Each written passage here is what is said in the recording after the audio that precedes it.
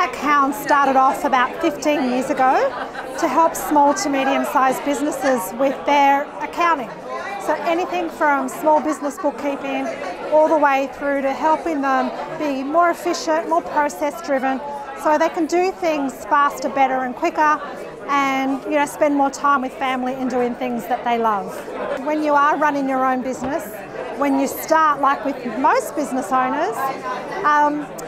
you, are doing everything because you don't have the cash flow or the funds to pay for those specialised type services. The advice that I would give myself, say 15 years ago, is when you are thinking about starting up a business, factor in all those costs because either go get a loan, get someone to help you, but you definitely need to have the right people doing the things that you can't do because what they are good at doing,